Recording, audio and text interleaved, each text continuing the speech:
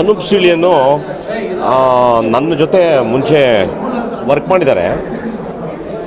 ನನಗೆ ಆತನ ಬಗ್ಗೆ ಅನಿಸಿದ್ದೇನು ಅಂದರೆ, ಸಂಪೂರ್ಣವಾಗಿ ಸ್ಕ್ರಿಪ್ಟನ್ನು ಅಧ್ಯಯನ ಮಾಡಿಕೊಂಡು ಅಧ್ಯಯನ ಮಾಡಿಕೊಂಡು, ಯಾವ ಸನ್ನಿವೇಶಕ್ಕೆ ಯಾವ ಹಾಡಿದರೆ ಚಂದ ಅಂತ ತುಂಬಾ ಹೋಮ್ವರ್ಕ್ ಮಾಡ್ತಾನೆ ಆ ಮನುಷ್ಯ. ಹಾಗಾಗಿ ಆತ ತುಂಬ ಯಶಸ್ವಿ ಸಂಗೀತ ನಿರ್ದೇಶಕ ಅಂತ ನಾನು ಹೆಮ್ಮೆಯಿಂದ ಹೇಳೋಕ್ಕೆ ಇಷ್ಟಪಡ್ತೀನಿ. ಆ್ಯಂಡ್ ಮೋರ್ ಓವರ್ ಸೆಂಟಿಮೆಂಟ್ ಆತನ ನನ್ನ ಕಾಂಬಿನೇಷನ್ ಎಲ್ಲ ಚಿತ್ರಗಳು ಹಿಟ್ ಆಗಿದೆ ಇದು ಮೂರನೇ ಚಿತ್ರ ನಾವು ಮಾಡಿದೆ ಇದರಲ್ಲಿ ನನಗೆ ತುಂಬ ಇಷ್ಟವಾಗಿದ್ದು ಹಾಡು ಅಂದರೆ ನಾನು ಸ್ವಲ್ಪ ಪೇರೆಂಟ್ಹುಡ್ನ ತುಂಬ ರೆಸ್ಪೆಕ್ಟ್ ಮಾಡೋನು. ನನಗೆ ಎಸ್ಪೆಷಲಿ ಹೋಗಿ ಬಾ ಬೆಳಗ್ಗೆ ಹಾಡನ್ನು ನೋಡಿದಾಗ ನಾನು ತುಂಬ ಭಾವುಕನಾಗ್ಬಿಟ್ಟೆ ಯಾಕೆಂದರೆ ನಾನು ನಮ್ಮ ತಂದೆಯವ್ರನ್ನ ಕಳ್ಕೊಂಡಾಗ ನನಗೇನು ಫೀಲ್ ಆಗಿತ್ತು ಆ ಫೀಲ್ ಆಗೋಯ್ತು ನನಗೆ. ನನಗೆ ಅಲ್ಲಿ ಶೂಟಿಂಗಲ್ಲಿ ಅನಿಸ್ಲಿಲ್ಲ.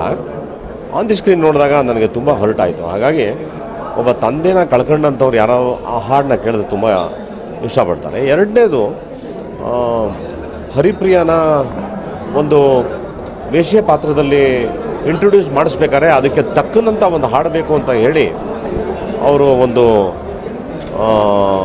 ಬೆಲಿ ಡ್ಯಾನ್ಸ್ ಸಾಂಗ್ನ ಪ್ಲ್ಯಾನ್ ಮಾಡಿ ನಾನು ಅಂದ್ಕೊಂಡಿರಲಿಲ್ಲ ಅದು. ಅದು ಕೇಳ್ತಾ ಕೇಳ್ತಾ ಸಾಂಗ್ ಕಿಕ್ ಜಾಸ್ತಿ. ಹಾಗೆ. ಇನ್ನು ಈ ಎರಡು ಸಾಂಗು ಬಹುಶಃ ತುಂಬ ಮನಸ್ಸಲ್ಲಿ ಉಳಿಯುತ್ತೆ. ಮೂರನೇದು ಒಂದು ಸ್ಮಶಾನದಲ್ಲಿ ಒಂದು ಸಾಂಗ್ ಮಾಡಿದ್ದಾರೆ. ನನಗೆ ಅವತ್ತು ಆ ಡೈರೆಕ್ಟ್ರ್ ಮೇಲೆ ಸಿಕ್ಕಾಪಟ್ಟೆ ಸಿಟ್ಟು ಬಂದ್ಬಿಡ್ತು ನನಗೆ.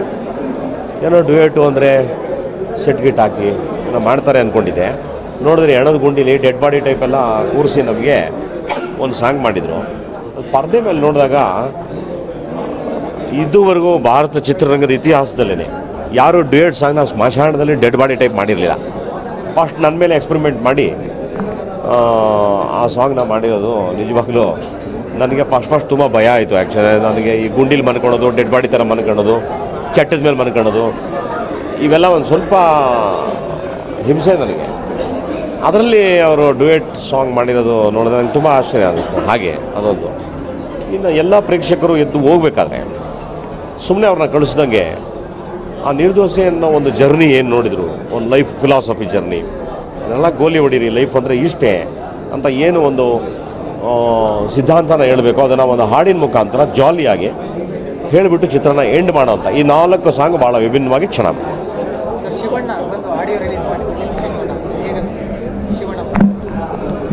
ನಾನು ತುಂಬ ಹೆಮ್ಮೆಯಿಂದ ಹೇಳ್ತೀನಿ ಆತ ನನ್ನ ಒಳ್ಳೆ ಗೆಳೆಯ.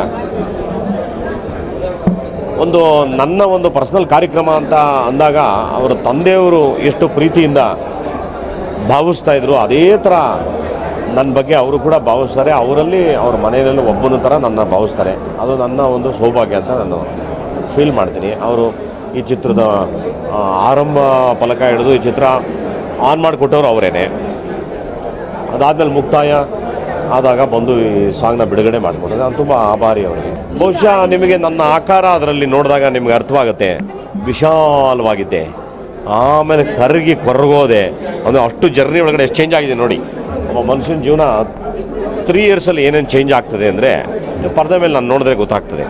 ತುಂಬ ಚೇಂಜ್ ಆಗಿದೆ, ತುಂಬ ಚೇಂಜ್ ಆಗಿದೆ. ಆದರೆ, ಆ ಗಟ್ಟಿ ಕತೆ ಇದೆಯಲ್ಲ, ಅಂಥ ಕತೆಗಳಿಗೆ ನನ್ನ ಪ್ರಕಾರ ನಾನು ತುಂಬ ಕೇಳ್ಪಟ್ಟಿದ್ದೀನಿ. ಭಾಳ ಇಂಗ್ಲೀಷ್ ಚಿತ್ರರಂಗದಲ್ಲಿ ಅಥವಾ ಹಿಂದಿ ಚಿತ್ರರಂಗದಲ್ಲಿ ಭಾಳ ಕಾದು ಕಾದು ಒಂದು ಸಿನಿಮಾ ತುಂಬ ದಿನ ತೊಗೊಂಡು ಮಾಡಿದ್ದಾರೆ ಅಂತ. ಬಹುಶಃ ದೀರ್ಘವಾದಂಥ ಚಿತ್ರೀಕರಣ ಆದಂಥ ಚಿತ್ರ ಯಾವುದು ಅಂತ ಕೇಳಿದ್ರೆ ನಾನು ತುಂಬ ಹೆಮ್ಮೆಯಿಂದ ಹೇಳ್ತೀನಿ.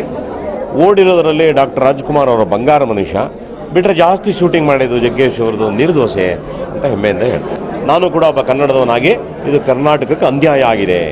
ಅದು ಅನ್ಯಾಯ, ನನಗೂ ಕೂಡ ಸಹಿಸೋಕ್ಕಾಗ್ತಾ ಇಲ್ಲ.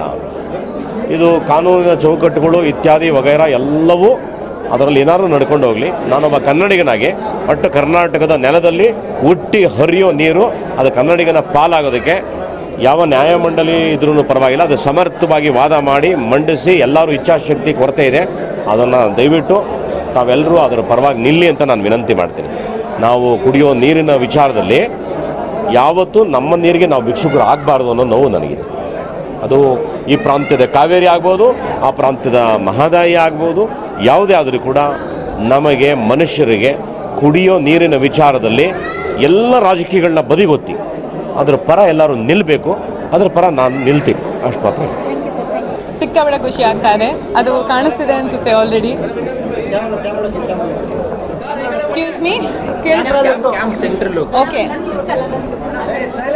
okay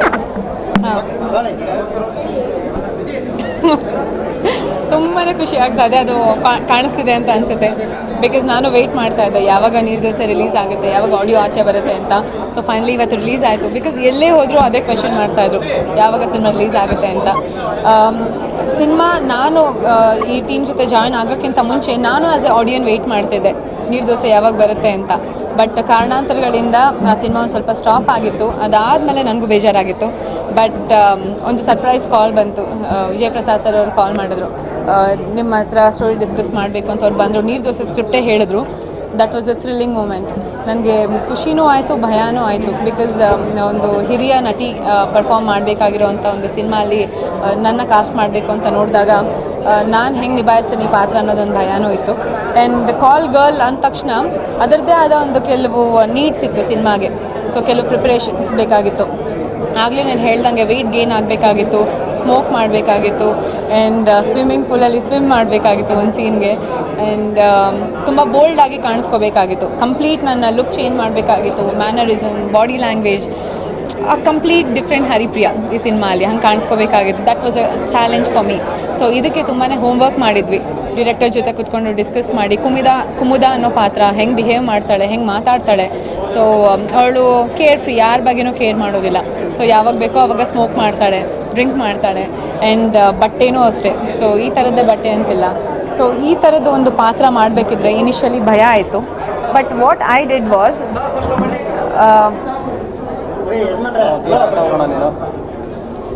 so initially ತುಂಬ ಭಯ ಆಯಿತು. So what I did was ನಾನು ಸೆಟ್ಗೆ ಹೋದ ತಕ್ಷಣ ಕ್ಯಾರವನಲ್ಲಿ ಬರೀ ಮೇಕಪ್ ಹಾಕ್ಕೊಳ್ಳೋದಕ್ಕೆ ಕಾಸ್ಟ್ಯೂಮ್ ಚೇಂಜ್ ಮಾಡೋಕ್ಕೆ, ಊಟ ತಿಂಡಿಗೆ ಮಾತ್ರ ವ್ಯಾನ್ನ ಬಳಸ್ತಿದ್ದೆ. Otherwise I use to be on sets ಸೆಟ್ಟಲ್ಲಿ ಕೂತ್ಕೊಂಡು ಎಲ್ಲರ ಜೊತೆ ಇಂಟ್ರ್ಯಾಕ್ಟ್ ಮಾಡ್ತಾ ಎವ್ರಿಬಡಿ ಲೈಕ್ ನಮ್ಮ ಲೈಟ್ ಮ್ಯಾನ್ಸ್ ಆಗಿರ್ಬೋದು ಸೆಟ್ ಬಾಯ್ಸ್ ಆಗಿರ್ಬೋದು, ನಮ್ಮ ಡೈರೆಕ್ಷನ್ ಡಿಪಾರ್ಟ್ಮೆಂಟ್ ಎವ್ರಿಬಡಿ ಎಲ್ಲರ ಜೊತೆನೂ ಮಾತಾಡ್ಕೊಂಡಿರ್ತಿದ್ದೆ so I use to make myself feel comfortable ನಾನು ಕಂಫರ್ಟಬಲ್ ಆಗಿ ಬೋಲ್ಡ್ ಆಗಿ ಎಲ್ಲರ ಜೊತೆ ಮಾತಾಡ್ಕೊಂಡಿರೋಣ ಅನ್ನೋ ಒಂದು ಮೈಂಡ್ ಸೆಟ್ ಬರೋದಕ್ಕೆ ನಾನು ಅದೆಲ್ಲ ಮಾಡ್ತಿದ್ದೆ. ಸೊ ಅದಾದಮೇಲೆ I started getting the confidence so ಅದು ಆ ಒಂದು ಪ್ರಿಪ್ರೇಷನ್ಸ್ ಎಲ್ಲನೂ ಇವತ್ತು ತೆರೆ ಮೇಲೆ ಕಾಣ್ತಾ ಇದೆ. So I am really happy and satisfied and director ತುಂಬ ಏನು ಕಷ್ಟಪಟ್ಟಿದ್ದಾರೆ.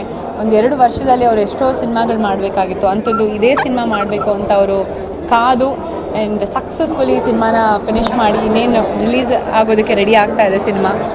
I am very happy for him and thanks to the whole team ನನ್ನ ಈ ರೋಲ್ಗೆ ನನ್ನ ಪುಲ್ ಇನ್ ಮಾಡಿದ್ದಕ್ಕೆ ಈ ಸಿನಿಮಾಗೆ. Personally I feel nice because this is my profession profession ಎಲ್ಲರದ್ದು ಅವ್ರವ್ರದ್ದೇ ಪ್ರೊಫೆಷನಲ್ಲಿ ಚಾಲೆಂಜಸ್ ಬರುತ್ತೆ, ಎಷ್ಟೊಂದು ಏನೇನೋ ಫೇಸ್ ಮಾಡಬೇಕಾಗತ್ತೆ. ಸೊ ಅದನ್ನು ಫೇಸ್ ಮಾಡಿ ಗೆದ್ಮೇಲೆ ಅವ್ರಿಗೆ ಪ್ರಮೋಷನ್ ಸಿಗುತ್ತೆ. ಅಲ್ವಾ? ಸೊ ಹಾಗೆಯೇ ನನ್ನ ಕೆರಿಯರಲ್ಲಿ ನಾನು ನೋಡಿಕೊಂಡ್ರೆ ಇನಿಷಿಯಲಿ ನಾನು ಬೇಡ ಮಾಡೋದು ಈ ಥರದ ಪಾತ್ರ ಅಂತಲೇ ಅಂದ್ಕೊಂಡಿದ್ದೆ ಸೊ ಅದಾದಮೇಲೆ ಕೆಲವು ಇಂಡಸ್ಟ್ರಿ ಫ್ರೆಂಡ್ಸ್ ಮೀಡಿಯಾ ಫ್ರೆಂಡ್ಸ್ ಜೊತೆ ಎಲ್ಲ ಡಿಸ್ಕಸ್ ಮಾಡಿದಾಗ ಅವರು ನನಗೆ ನೀಟಾಗಿ ಎಕ್ಸ್ಪ್ಲೇನ್ ಮಾಡಿದ್ದೆ ಇದು. They are seniors so senior friends ಅವ್ರು ನಂಗೆ ಹೇಳಿದೆ ಒಂದೇ ಥರದ ಪಾತ್ರಗಳು ಎಷ್ಟು ದಿನ ಅಂತ ಮಾಡ್ತೀಯಾ? ಅಫ್ಕೋರ್ಸ್ ಐ ಆಮ್ ಲಕ್ಕಿ ಈ ನಡುವೆ ನನಗೆ ಸಿಗ್ತಾ ಇರೋಂಥ ಪಾತ್ರಗಳು ಡಿಫ್ರೆಂಟ್ ಆಗಿದೆ. ಬುಲೆಟ್ ಬಸ್ಸೆ ಆಗಿರ್ಬೋದು ರನ್ ಆ್ಯಂಡ್ ಈಗ ರಿಕ್ಕಿಯಲ್ಲಿ ಕೂಡ ನಕ್ಸಲೈಟ್ ಆಗಿ ಮಾಡಿದ್ದೆ. ಸೊ ಇದು ಕೂಡ ಒಂದು ಡಿಫ್ರೆಂಟ್ ಪಾತ್ರ. ಸೊ ನಿನ್ನ ಪ್ರೊಫೆಷನಲ್ಲಿ ಒಂದು ಆರ್ಟಿಸ್ಟ್ ಆಗಿ ಕಾಲ್ಗಳಾಗಿ ತೆರೆ ಮೇಲೆ ಕಾಣಿಸ್ಕೊಳೋದ್ರಲ್ಲಿ ತಪ್ಪೇನಿಲ್ಲ. ಸೊ ಅದನ್ನು ಚಾಲೆಂಜ್ ಆಗಿ ತೊಗೊಂಡು ಹೋಮ್ವರ್ಕ್ ಮಾಡಿ ಮಾಡು. ಯು ಶುಡ್ ಪ್ರೂವ್ ಇಟ್ ಅಂತ ನನಗೆ ಹೇಳಿದರು. ಸೊ ಅದನ್ನು ಚಾಲೆಂಜ್ ಆಗಿ ತೊಗೊಂಡು so I work really hard so ಇವಾಗ ನಾನು ನೋಡ್ಕೊಂಡಾಗ ನಂಗೆ ಖುಷಿ ಆಗ್ತಿದೆ. Maybe after ten years of fifteen years down the line ನಾನು ಹಿಂತಿರುಗಿ ನನ್ನ ಜರ್ನಿ ನಾನು ನೋಡಿಕೊಂಡಾಗ ಬೇರೆ ಬೇರೆ ಪಾತ್ರಗಳು ಮಾಡಿದ್ದೀನಿ ಅದಕ್ಕೆ ಜಸ್ಟಿಫೈ ಮಾಡಿದ್ದೀನಿ ಅನ್ನೋ ಸ್ಯಾಟಿಸ್ಫ್ಯಾಕ್ಷನ್ ನನಗೂ ಇರಬೇಕು. ಸೊ ಐ ಆಮ್ ಹ್ಯಾಪಿ ನಾವು ಸೊ ಆ ಸ್ಯಾಟಿಸ್ಫ್ಯಾಕ್ಷನ್ ಮುಂದಕ್ಕೆ ಸಿಗುತ್ತೆ ಅನ್ನೋದು ಕಾನ್ಫಿಡೆನ್ಸ್ ಇದೆ. ಒಂದೇ ಥರದ ಪಾತ್ರಗಳು ಮಾಡಿದರೆ ಮೇ ಬಿ ಮೊನಾಟನಸ್ ಆಗ್ತಿತ್ತು so this is you know stage for me to prove myself ಎಲ್ಲ ಆರ್ಟಿಸ್ಟ್ಗಳಿಗೂ ಇಂಥ ಒಂದು, ಇದು ಸಿಗೋದಿಲ್ಲ. ಐಮ್ ಲಕ್ಕಿ ಸಿ ಡೈಲಾಗ್ಸ್ ಎಲ್ಲನೂ ಡಬಲ್ ಮೀನಿಂಗ್ ಇದೆ, ಹೌದು. ಡಬಲ್ ಮೀನಿಂಗ್ ಯಾವ ಥರ ಡಬಲ್ ಮೀನಿಂಗ್ ಆದರೂ ಆಗಿರ್ಬೋದು. ಯಾರ್ಯಾರು ಹೆಂಗೆ ಹೆಂಗೆ ಅರ್ಥ ಮಾಡ್ಕೋತಾರೆ ಆ ಥರ ಹೋಗುತ್ತೆ ಅದು.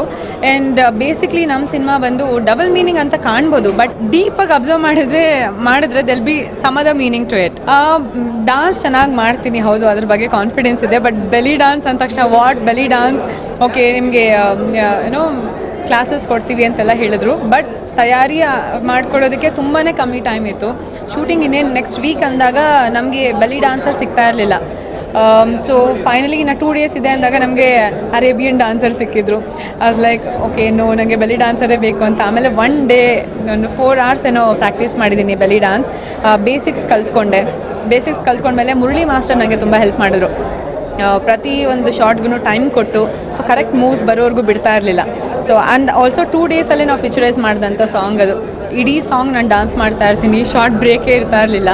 ಸೊ ಕಷ್ಟಪಟ್ಟಿದ್ದು ಇವತ್ತು ನನಗೆ ಫಲ ಕೊಡ್ತಾ ಇದೆ ಸೊ ಐಮ್ ಹ್ಯಾಪಿ ನನ್ನ ನನ್ನ ದೃಶ್ಯದಲ್ಲಿ ನೀರು ದೋಸೆ ತಪಸ್ಸಿದ್ದಾಗೆ ಅಂದರೆ ನೀರು ದೋಸೆ ಅಂತಲ್ಲ, ಸಿನಿಮಾ, ಒಂದು ತಪಸ್ಸಿದ್ದಾಗೆ ಈ ಮೂರು ವರ್ಷಗಳ ಸುದೀರ್ಘ ತಪಸ್ಸಿನ ನಂತರ ಇವತ್ತು ನೀರು ದೋಸೆ ಹಾಡುಗಳ ಧ್ವನಿ ಬಿಡುಗಡೆ ಆಗ್ತಾ ಇದೆ. ಸಹಜವಾಗಿ ತುಂಬ ಸಂತೋಷ ಆಗುತ್ತೆ. ಆದರೆ ಹೇಳ್ತಾ ಹೋದರೆ ಪದಗಳೇ ಸಾಲದು ಅನಿಸುತ್ತೆ.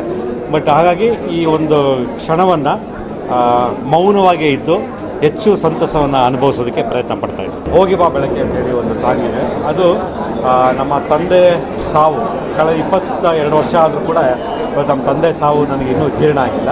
ಆ ನಮ್ಮ ತಂದೆ ಸಾವಿನ ಒಂದು ಹಿನ್ನೆಲೆ ನನಗೆ ಈ ಹಾಡು ಉದ್ಭವ ಆಗೋದಕ್ಕೆ ಕಾರಣ. ಹಾ. ನೀರು ದೋಸೆ ಮಾಡ್ತಾ ಇದ್ದೀರಾ? ಬಟ್ ಮಸಾಲೆ ದೋಸೆ ಸೌಮ್ಯ ಯಾಕೆ ತಗೊಂಡ್ಬಂದ್ರಿ ಮತ್ತೆ? ಬೇಕಾಗಿತ್ತೆ ಇದು ಪ್ರಶ್ನೆ ಚೆನ್ನಾಗಿದೆ ವಿಳಾಸ ತಪ್ಪಿದೆ. ಹಾಗಾಗಿ ನೋ ಕಾಮೆಂಟ್ಸ್ ಬಟ್ ಸರ್ ಯಾಕೆ Bye. ಡೈಲಾಗ್ ಬೇಕಾಗಿತ್ತು? ಹಾಂ ಹಾಂ ಡೈಲಾಗ್ ಬೇಕಾಗಿತ್ತು? ಅಲ್ಲ ಅದು ಒಂದು ಚೇಷ್ಟೆ ಅಷ್ಟೇ ಇನ್ನೇನು ಇರಲಿಲ್ಲ ಈಗ ನೋಡಿ ಒಂದು ಕಳೆದ ಮೂರು ವರ್ಷದಿಂದ ನಾನು ಯಾರ ಬಗ್ಗೆ ಎಲ್ಲೂ ಏನೂ ಮಾತಾಡಿಲ್ಲ. ಯಾವ ಸ್ಟೇಟ್ಮೆಂಟು ಕೊಟ್ಟಿಲ್ಲ. ಮಾತಾಡ್ಬೋದಿತ್ತು ಅನ್ನೋದಾದರೆ ಅಥವಾ ಇನ್ನೊಂದು ಏನೋ ಉದ್ದೇಶನೇ ಬೇರೆ ಆಗಿದ್ದರೆ ಏನು ಬೇಕಾದರೂ ಬರೀಬೋದಿತ್ತು ಏನು ಬೇಕಾದರೂ ಮಾಡ್ಬೋದಿತ್ತು. ಸುಮ್ಮನೆ ಅದು ಒಂದು ಚೇಷ್ಟೆ ಮಾಡಿರೋದು ಅಷ್ಟೇ ಉದ್ದೇಶ. ನನಗೇನು ಅಂತಂದರೆ ಮನುಷ್ಯ ಮಾತಾಡಿ, ಚಿಕ್ಕವನಾಗಬಾರ್ದು, ಮೌನವಾಗಿದ್ದು ದೊಡ್ಡವನಾಗಿ ಈ ರೀತಿ ಸಂಭಾಷಣೆ ಬರೆಯೋದು ಅದು ಭಗವಂತ ನನಗೆ ಕೊಟ್ಟಿರೋಂಥ ಒಂದು ಶಕ್ತಿ. ಅದು ನನ್ನ ಪ್ಯಾಷನ್ನು ಕೂಡ. ಅಂದರೆ ನೀವು ಗಂಭೀರವಾದ ವಿಚಾರವನ್ನು ತುಂಬ ಗಂಭೀರವಾದ ಮಾತುಗಳಲ್ಲಿ ಹೇಳ್ತಾ ಹೋದರೆ ಅದು ಕೆಲವ್ರಿಗೆ ಮಾತ್ರ ಇಷ್ಟ ಆಗುತ್ತೆ, ಕೆಲವ್ರಿಗೆ ಇಷ್ಟ ಆಗದೆ ಹೋಗ್ಬೋದು. ನನ್ನ ದೃಷ್ಟಿ ಏನಂತಂದರೆ ಕನಸು ಮತ್ತು ವ್ಯಾಪಾರ, ಇವೆರಡೂ ತುಂಬ ಇಂಪಾರ್ಟೆಂಟ್ ಸಿನಿಮಾಗೆ. ಹಾಗಾಗಿ ನಾನು ಹೇಳಬೇಕಾದ ಗಂಭೀರ ವಿಚಾರವನ್ನು ಒಂದು ಕುಚೋದ್ಯದ ಮೂಲಕ, ಚೇಷ್ಟೆ ಮೂಲಕ, ವಿಡಂಬನಾತ್ಮಕವಾಗಿ ನನ್ನದೇ ಆದ ಒಂದು ಪ್ಯಾಷನ್ ಇಟ್ಕೊಂಡು ಡೈಲಾಗ್ಸ್ನ ಬರಿತೀನಿ. ಇದು ಪಕ್ಕ ಜನರನ್ನು ಆಕರ್ಷಣೆ ಮಾಡೋದಕ್ಕೆ ಒಂದು, ಮತ್ತು ನಾನು ಹೇಳ್ಕೊಂಡು ನನ್ನಲ್ಲಿ ಒಳಗಿರೋಂಥದ್ದು ಏನೋ ವಿಚಾರಗಳನ್ನ ಹೇಳ್ಕೊಳ್ಳೋದಕ್ಕೆ ಈ ಶೈಲಿನ ನಾನು ಬಳಸ್ತೀನಿ. ಇದ್ರ ಬಗ್ಗೆ ಮಾತಾಡೋದಕ್ಕೆ ನಾನು ತುಂಬ ಚಿಕ್ಕವನು. ದಕ್ಕದೇ ಇದ್ದಾಗ ಫಸ್ಟು ಎಲ್ರಿಗೂ ರೋಷ, ಕಿಚ್ಚು ಬರೋದು ಸಹಜ ಅದು. ಆದರೆ ಯಾಕೆ ದಕ್ಕಿಲ್ಲ, ಯಾಕೆ ಇದು ಮಾಡಿಲ್ಲ ಅನ್ನೋದು ಕೂತು ಚರ್ಚೆ ಮಾಡಬೇಕಾಗುತ್ತೆ. ಆದರೆ ನೀರು ಎಲ್ಲರಿಗೂ ಬೇಕು ಅದು. ಆ ಒಂದು ನಿಟ್ಟಿನಲ್ಲಿ ಯೋಚನೆ ಮಾಡಿದಾಗ ಅವರವರ ದೃಷ್ಟಿನಲ್ಲಿ ಅವರವ್ರದೇ ತೀರ್ಮಾನ ಬರುತ್ತೆ. ತುಂಬ ಖುಷಿ ಆಯಿತು. ಸಿನಿಮಾ ಸುಸೂತ್ರವಾಗಿ ಕಂಪ್ಲೀಟ್ ಆಗಿದೆ. ಇವತ್ತು ಆನ್ ಸ್ಕ್ರೀನ್ ಮೇಲೆ ನೋಡಿದಾಗ ತುಂಬ ಖುಷಿ ಅಂತ ಅನ್ನಿಸ್ತು ಅಲ್ಲ, ಸಿನಿಮಾನ ಒಳ್ಳೆ ನಾನು ಹೇಗೆ ಮೊದಲು ತಗೋಬೇಕಾದ್ರೇ ಒಂದು ಪ್ರೋಮೋ ನೋಡಿ ಒಂದು ಏನು ಬಿಡಿಸಿ ಶೂಟ್ ಮಾಡಿದ್ದು ಅದನ್ನು ನೋಡಿದಾಗಲೇ ನನಗೆ ವೆರಿ ಇಂಪ್ರೆಸಿವ್ ಅಂತ ಅನ್ನಿಸ್ತು. ನಾನು ಡೈಲಾಗ್ಸು ಇದು ಅನ್ನೋದಕ್ಕಿಂತ ಇದು ಒಂದು ಎಮೋಷನ್ ನಾವು ಡೈಲಾಗ್ಸ್ಗೆ ಇಂಪ್ರೆಸ್ ಆಗೋದು ಬೇರೆ. ಒಂದು ಎಮೋಷನ್ ತುಂಬ ಕಾಡುತ್ತೆ ಮನುಷ್ಯನ. ಅದು ಶಾಶ್ವತ ಅಂತ ಎಮೋಷನ್ ಶಾಶ್ವತ ಅಂತ ನನಗೆ ಇವತ್ತು ಆಡಿಯೋ ತುಂಬ ಖುಷಿ ಅನ್ನಿಸ್ತು. ನಾನು ಹೋಗಿ ಅವ್ರನ್ನ ಕರೆದ ತಕ್ಷಣ ಅವರು ಒಂದೇ ಮಾತಲ್ಲಿ ಬರ್ತೀನಿ ಎಷ್ಟೊತ್ತಿಗೆ ಹೇಳಮ್ಮ ಅಂತಂದರು. ಬಂದರು. ಧನ್ಯವಾದಗಳು. ಅವ್ರ ಕೃತಜ್ಞತೆಗಳನ್ನ ಎಷ್ಟು ಹೇಳಿದ್ರು ಸಾಕಾಗಲ್ಲ. ತುಂಬ ಖುಷಿ ಸೊ ಓಕೆ ಈಗ ಸಾಂಗ್ಸ್ ರಿಲೀಸ್ ಮಾಡಿದ್ದೀನಿ. ಸೊ ನೆಕ್ಸ್ಟ್ ಸಿನಿಮಾನ ಯಾವಾಗ ರಿಲೀಸ್ ಮಾಡ್ಬೇಕಂತ ಬರೋ ತಿಂಗಳು ಸಿನಿಮಾ ರಿಲೀಸ್ ಪ್ಲಾನ್ ಮಾಡಬೇಕು ಅಂತೇಳಿ ರೆಡಿ ಮಾಡ್ತೀನಿ